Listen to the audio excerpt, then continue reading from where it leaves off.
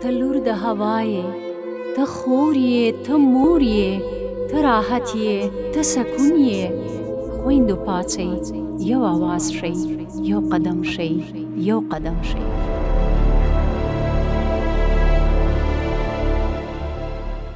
ګرانو قدرمنو رابیا علی تاسو ته تاسو پروګرام قدم کې هرکلی وایي مینوالو ځکه چې دا ستاسو خپل پروګرام دی او د دې ښایست او ښکلا ستاسو نه ده مینوالو تاسو ته معلومه ده چې زموږ ملک کې ډېرې سرکاري ادارې کار کوي خو زموږ د پاره خوشحالۍ او د فخر خبره دا ده چې زموږ مېرمنې هم دې جوګه شوې دي چې دې دفترونو کې کېني او خپلې هلې ځلې ترسره کړي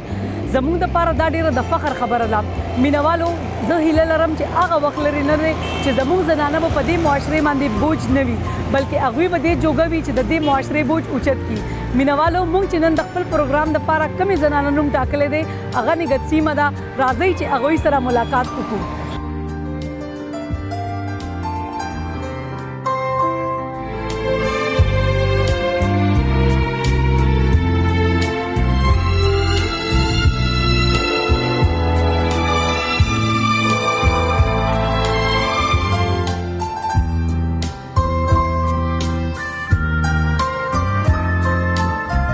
ګرانو قدرمنو دی وخت کې مونږه باغیچه ډېری کلی کې نګسیمه سرناسیو کوم چې په ایجوکیشن افیس کې په ډېر ښه عہده باندې کار کوي داغي عہده چې کومه دا ای ای ډي او دا راځي چې اغه نه داغي تعلیمي سفر باره کې تپوس کو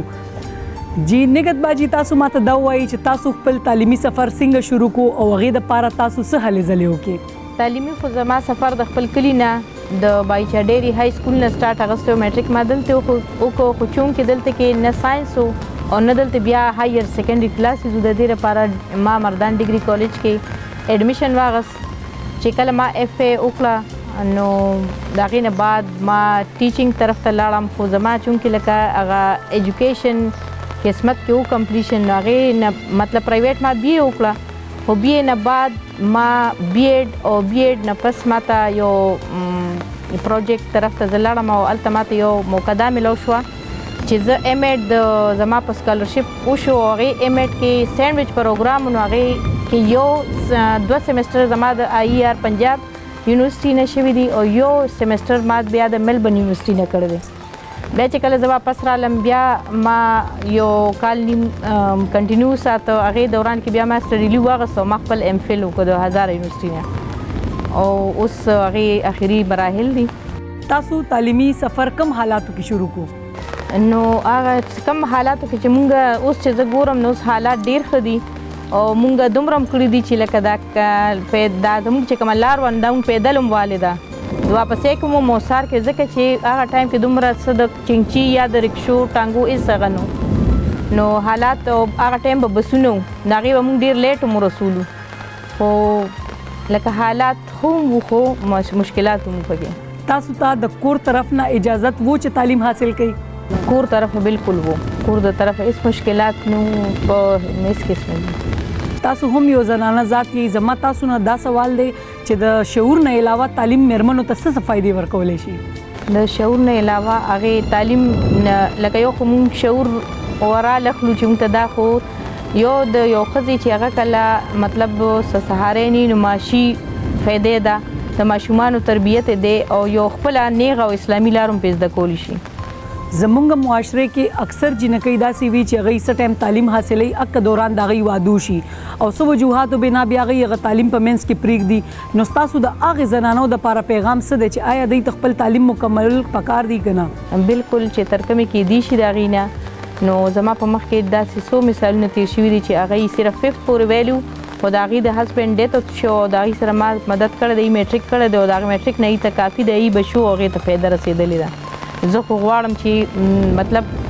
څه ټایم هم هی ته ملاویږی او کولی شی نو خپل علم دی حاصلی. نګهت باجی ډیره حیران کن خبره وشوله موږ چې تاسو کره راننوتو نو موسم بلکل صفا او ایک دم باران شروع شو نو تاسو دې باران باره کې څه وینا کول غواړی. نو باران د شپې نه خو موسم ډیر زیات بدلو ګرمي وه خو ستاسو راتلو سره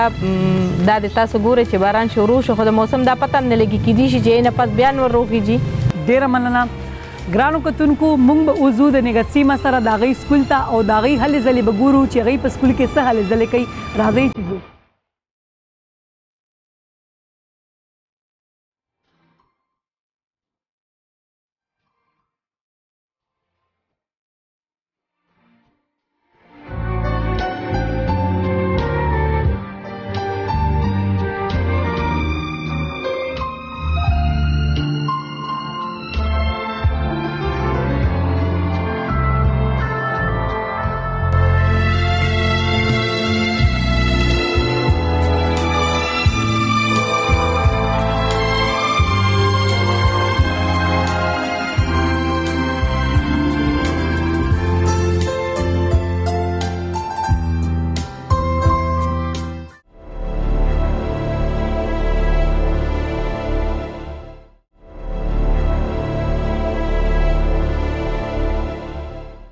میم تاسو دې سکول کې په څه عہده باندې کار کوئ؟ زه دې سکول کې ایچ ایم هیډمنسټرس پوسټ باندې کار کوم دو مئی 2014 نه راغلیم خو دلته چونکې سټاف کمې دی نو ایز ا چونکه ز ټیچینګ کیډر سره اکچولی زما تعلق دی نو ما یو سبجیکټ دوه اومدلته کې کلاسز ته سٹارټ اغسته دی او ما ته ډیر خلګي چې مطلب دلته کې زه ایز ا ایچ ایم ایم یم خو چې ماشوم سره زما انټریکشن ډایرکټ کیږي نو دا ماته زیاته ښه محسوسېږي چې کوم ځای کمی دی کوم ځای کې څه روان دي کوم ټیچرز نه کمی دی کوم ما نه کمی دی نه زیات ډایرک ما سره د ماشومانو انټریکشن شروع دی په سکولونو کې چې زمونږ کومې زنانه ټیچنګ کوي ستاسو په خیال هغوی ته څه مسایل دي ځکه چې تاسو خپله هم دې سفر نه تېرېږئ لګیا یئ نو موږ ته دلته کې دا یو خدای چې ایز ا جندر سنسټیشن په حواله سره به تاسو ته یو خبر وکم چې موږ ته هغه پرابلم نشته چې لکه د افیس نه یا د ډپارټمنټ نه دی خو لکه اوس لازما خبره ده یو سکول دی هغه په فار فلنګ ایریا کې دی نو هغه د پاره زموږ د کانوینس د ټیچر کانوینس ځین چې زموږ ګورنمنت په دې یو سټپ والی زموږ یو ټیچر چې هغه سیلری اخلي اوغه د هغه ځای نه 5000 رکشې لور کوي او غ نور ضرورت نو زما خیال چې هغه د لپاره لګ مشکل نه هغه خپل فائدې ته ګوري او پرایویټ گاډو کې راځي نو ټایم هم ډیر ځای شي چې سکول ته راشي نه دومره تکاوټ اغستی چې هغه خپل کلاسز صحیح وانه غستی شي او سل قسمه مسلې وته په لار کې را پیښ شي نو زما چې څومره خیال دی چې ارس ټیک دی خو کنوینس د ټیچرز ته الاونس په ځای کنوینس په خپل ملاو شي یو ګاډی چې هغه د ګورنمنت دی زما خیال دی چې ټیچرز به ډیوټي ډیره ښه او ریلیکس ماحول کو مم تاسو د نصاب خبرو کانو د کې بدلون د پاره تاسو سره ست تجویز دی چې حکومت ته ورکړي زما خپل چې ما کم ریویو د دې بوکس کړي دا زه ګورم چې کله ټیچ کوم نه کې ماته لیک پرابلم لګي نو هغه هم دا پرابلم دی چې دې سره زمونږه پکچرز لکه چې کم پکار دی کم دای بیک ګراوند پکار دی نه هغه بیک ګراوند نور کو ماشوم د بیک ګراوند په ذریعه ډیر زیات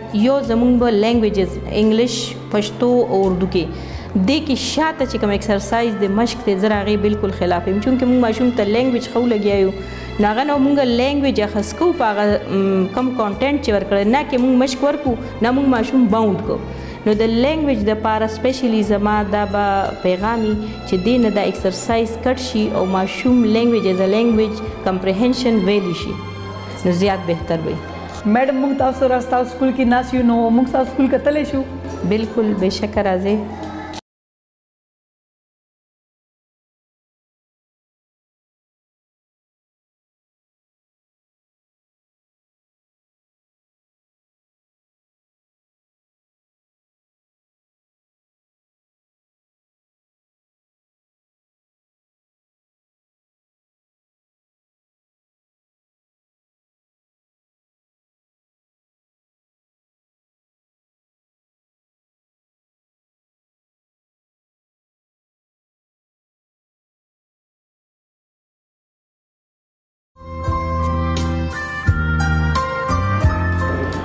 میډم نګت کوم وګورو نو زموږ معاشره کې اکثر د خلکو سوچ دا دی چې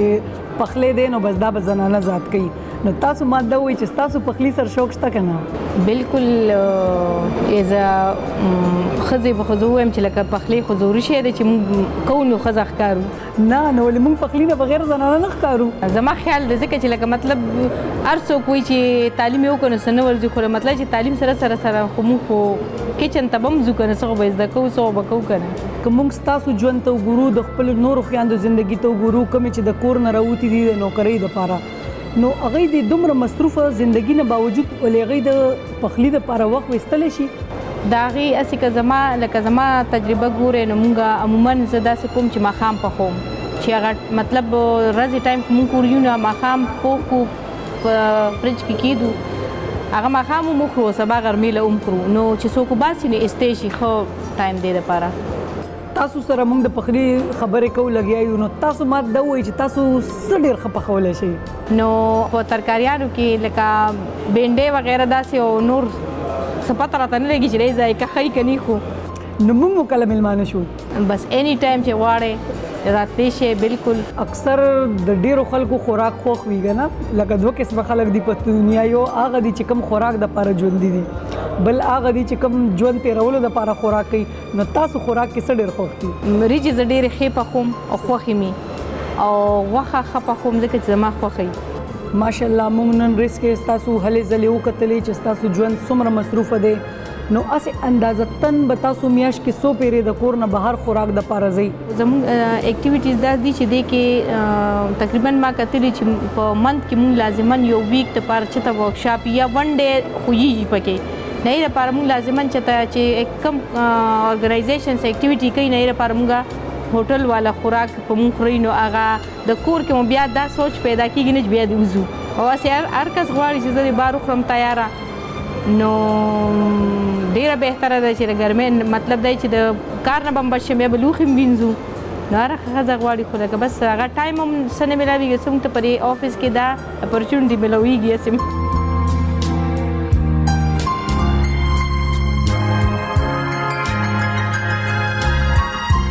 ګرانو مینوالو تاسو وکتل چې زمونږ مېرمنې څومره قابلیت لري